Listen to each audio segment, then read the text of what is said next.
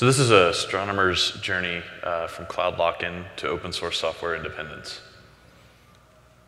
This is the obligatory slide where you can verify that I am who I say I am. So Aaron Brongersma, VP of Engineering at Astronomer, and I'm gonna go in a little bit here. There. At Astronomer, uh, we focus on, on two major core competencies. One is streaming data, and the other is batch style ETL. Uh, we have a, a very code-first approach that we bring. Um, we think that uh, you know, to empower data engineers and data scientists, we need to be able to run native Python code uh, as quickly as possible and allow them to really understand their business logic better than uh, any kind of um, predictive WYSIWYG or, or, whatever there. So Astronomer, uh, it all started out where we were chained to its cloud, our, our cloud provider, but one way, uh, one day we got away. So early priorities at Astronomer was uh, getting to market quickly for validation. So we focused really heavily on quick uh, prototyping. Uh, the next goal for us was to get data just in motion, and then we were always uh, doubling down on exploration. So V1 of Astronomer looked, um, looked very different than it is today, but it started off with uh, heavy utilization in AWS Lambda, and then we set AD, uh, API gateway in front of that to kind of act as our API gateway layer.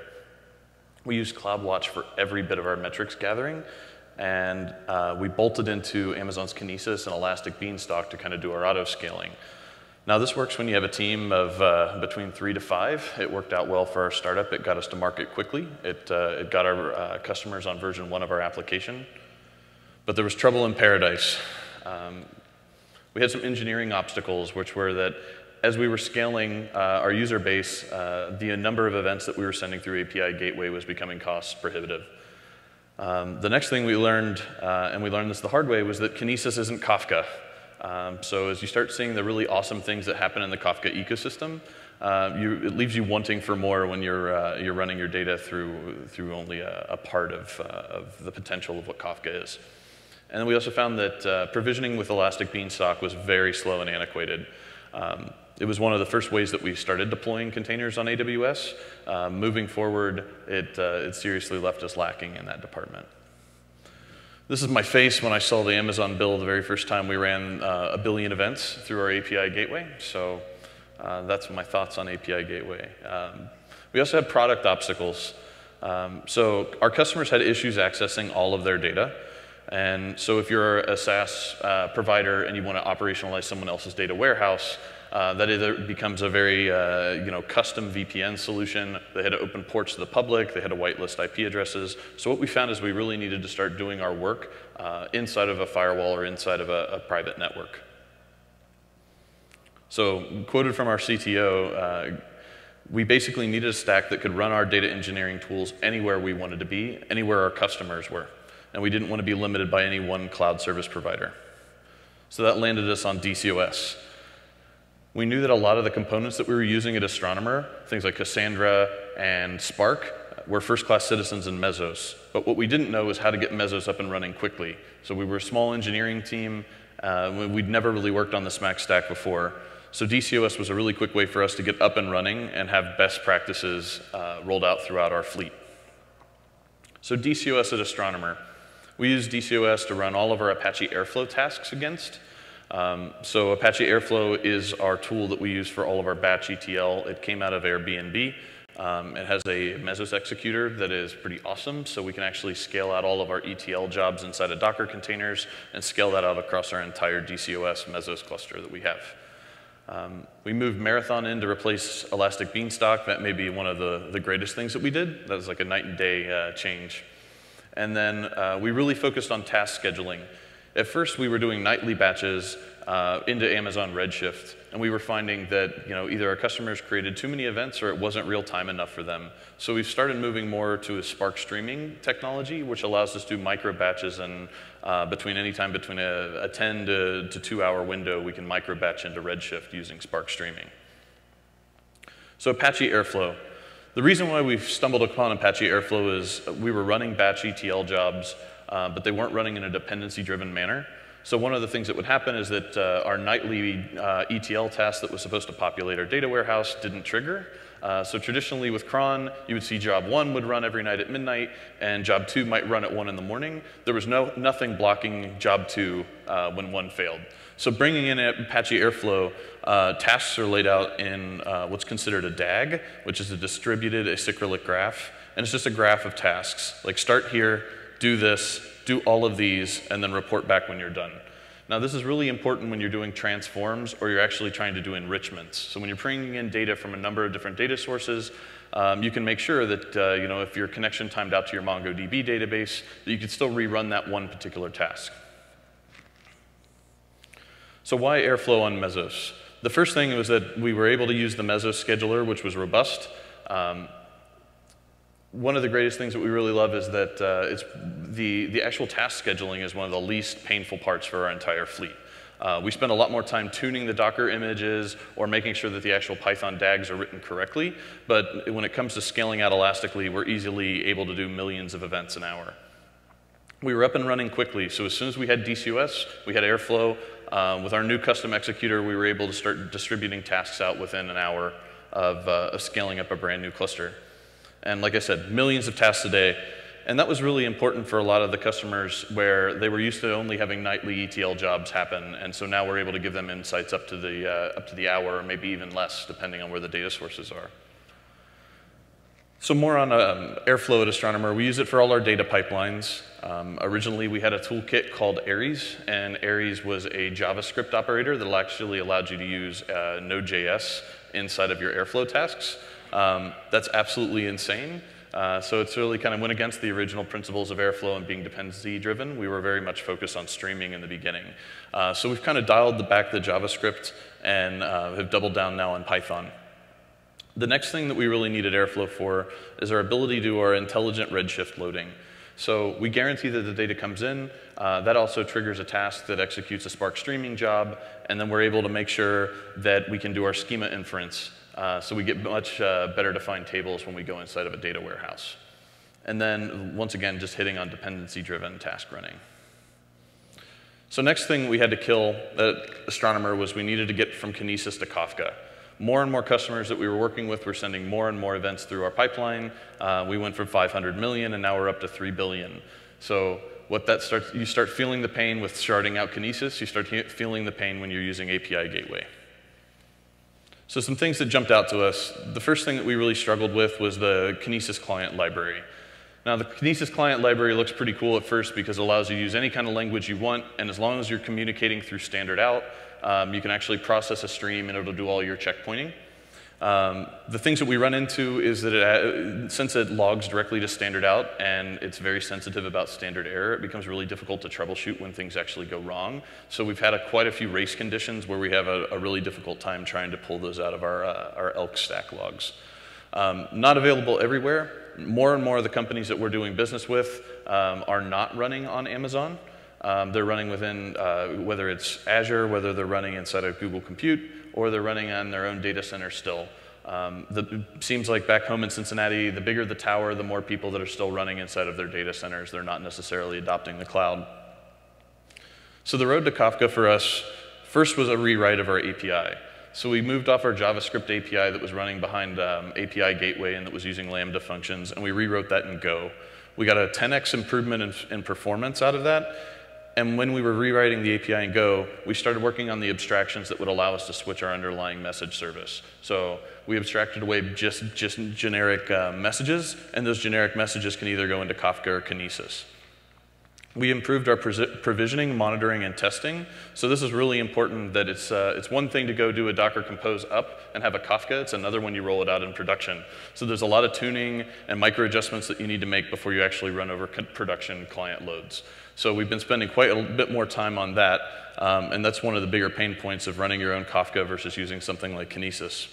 Um, and then one of the other things that we needed to do is uh, run, all, run both of our systems in parallel.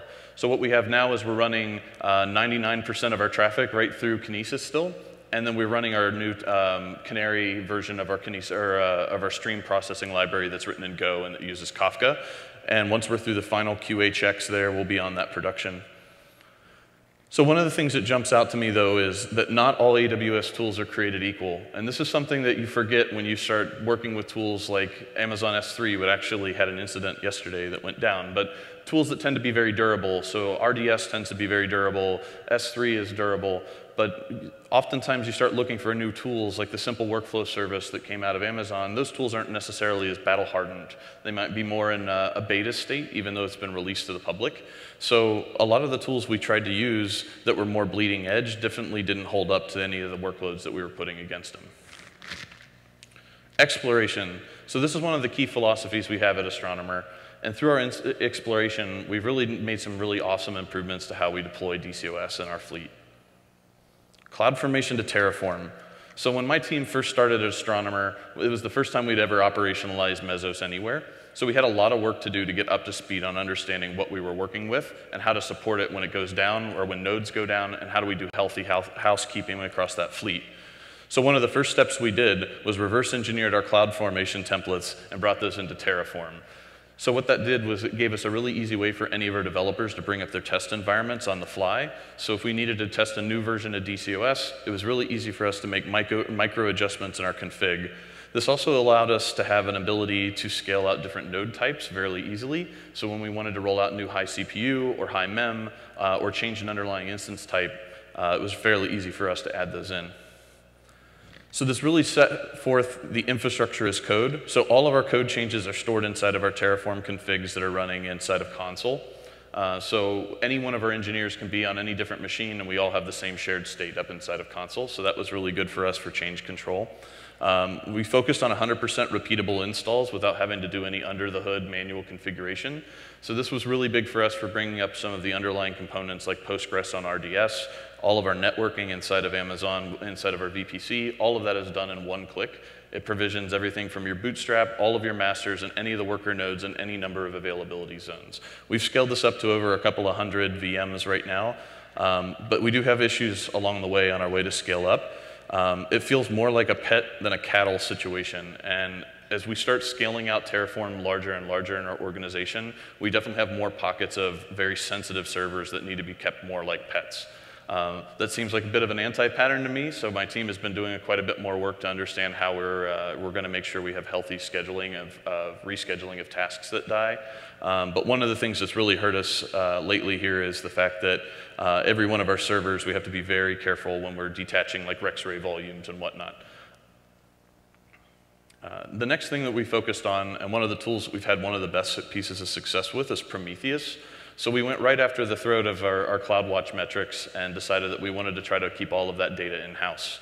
That meant that we had to write actual custom exporters for Prometheus. So we write those in Go and we contribute those back into the open source community. But it's pretty awesome to be able to change any of the micro adjustments that you want to uh, monitor for. All of our systems are monitored out of the box, so every machine that comes up automatically subscribes with the correct tags, so we never really worry about having that one instance that came up that didn't have the monitoring agents on it. Um, I already touched on the fact that we write our own exporters, which is actually really easy, but polling makes alerting really easy. Um, so one of the differences that we have is that uh, real-time logs actually flow into Elasticsearch, and so we can do pattern matching and, and um, you know, regular expression pattern matching there. But for Prometheus, Prometheus looks at the health of a service, uh, if the numbers are out of whack, if you're using too much CPU. So we really have two different types of alerting in our fleet. Kong and the inevitable demise of the API gateway. So we found Kong um, almost by chance. We weren't looking for it in the beginning. Uh, we were a heavy Nginx shop. Um, and so early on, we needed to start replacing some of our GraphQL authentication, which got us down the path of looking at Kong.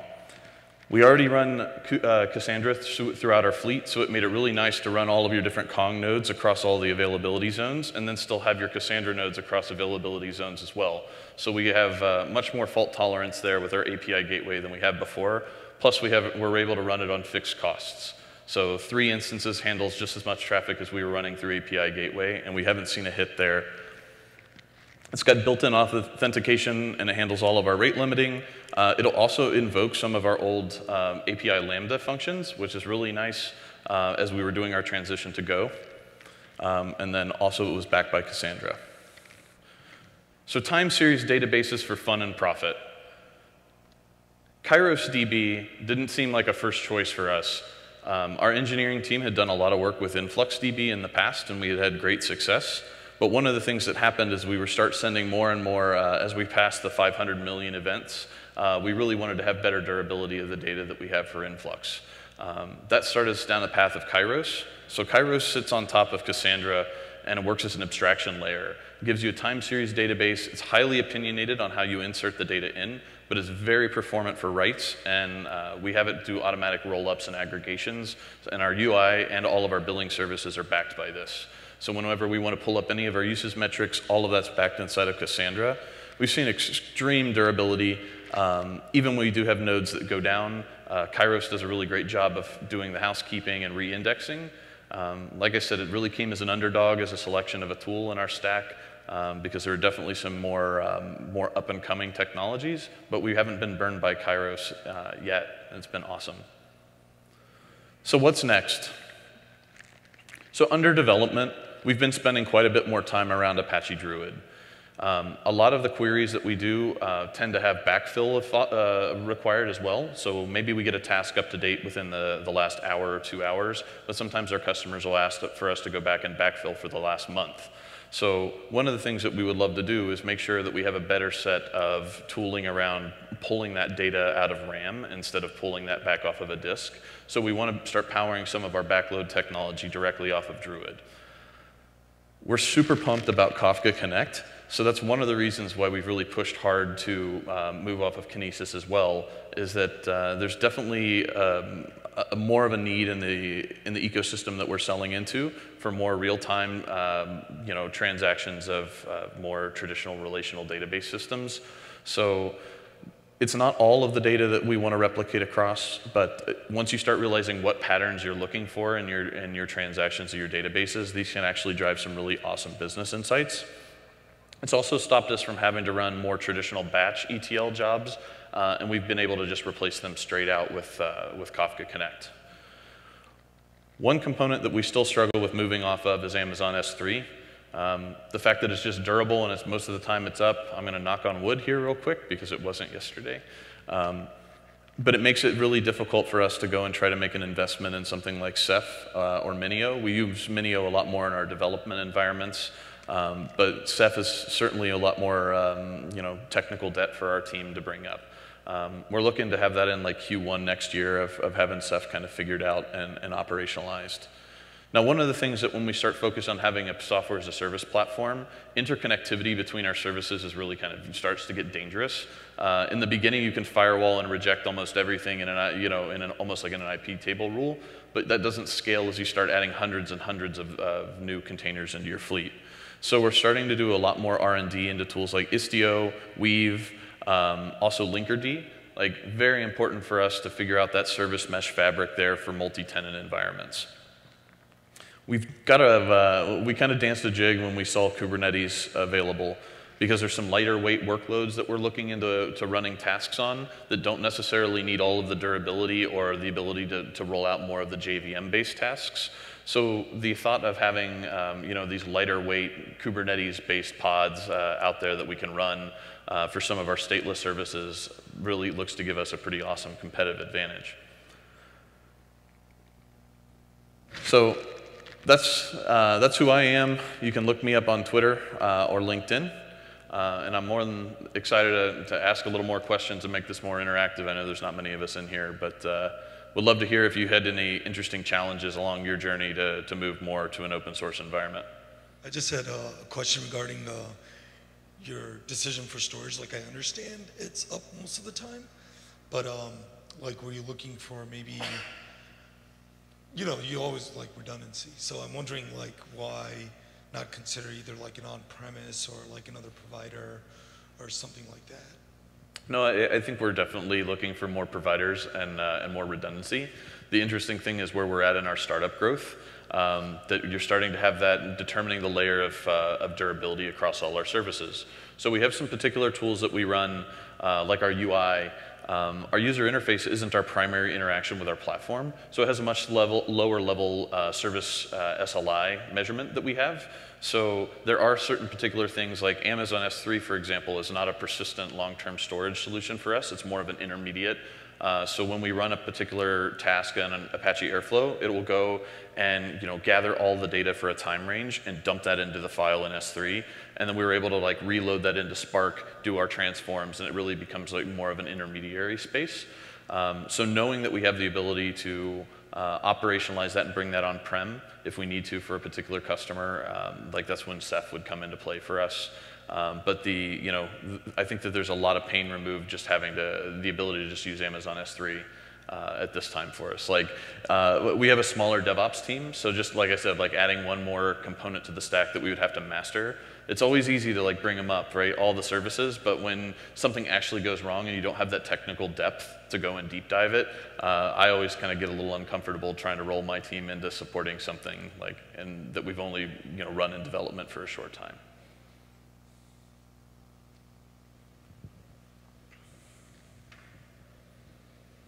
So it sounds like you have uh, kind of a small team, you're moving pretty fast, and you're, it looks like you have a pretty good stack here. Um, so I'm kind of impressed by what you're able to do here. Can, can, you talk a little bit about like the composition of the team that worked on this and you know, what their skill sets are and you know the timeline you've had moving from Amazon to DCOS and so on? Sure. Um, so the size of our team now is about 10 product engineers. Um, it's heavily focused more on the DevOps side. Um, so I came in originally uh, as head of infrastructure and came in with an infrastructure team. Uh, we've kind of done a shakeup on our engineering organization where we have two teams for our two different product lines. We have a stream team and we have a batch team. Uh, those teams are composed with uh, front-end, uh, you know, front-end engineers for each of the teams, um, a product manager, and then DevOps and product uh, development engineers that kind of sit in the, the two flexible roles. We share a lot of the information, so some of our issues are actually cross-team. Uh, like so working on things like Apache Airflow, that would be one of those like cross-functional team requirements. But most of the time people snap back into their functional role, whether it's streaming or, um, uh, or batch. As far as getting up to speed, uh, for, for most of the team, it took us about six months to really get our heads around it and start running more and more of our production data through. Um, one of the first things I did when I started was moved uh, a lot of our production um, systems of record off of DCOS to actually figure out how all of the RexRay volume mounting worked, uh, what actually happened when you restarted a node or a node got scheduled for termination in Amazon. Uh, we really wanted to figure that out before we just trusted the magic RexRay box. Um, since then, we've brought it all back in, but we really feel like we've operationalized and figured out how those components work, and we have a really good set of um, checklists on how to handle, you know, when a node fails and you don't have your RexRay volume removed and how we migrate those over. But I'm really glad that we went and did the extra diligence to make sure that we could figure those out. Um, as far as you know, moving forward for our team, there's still certainly a high overhead for getting people up and running on it, um, especially when a lot of our uh, talent in, in, Cincinnati comes from more of the Docker community. So looking at things like Mesos tend to be a much more mature framework that um, a lot of our up-and-comers don't get a direct access to. Um, but, it, but that minor challenge there of trying to find some new talent that, uh, you know, that is, they're, you know, pre-established Mesos people, um, we've been able to get a lot of our engineering team up and running quickly. So a lot of that is just the ability to like bring up an environment in Terraform in about, you know, five to 10 minutes, and then be able to tear that down at the end of the day if you have problems.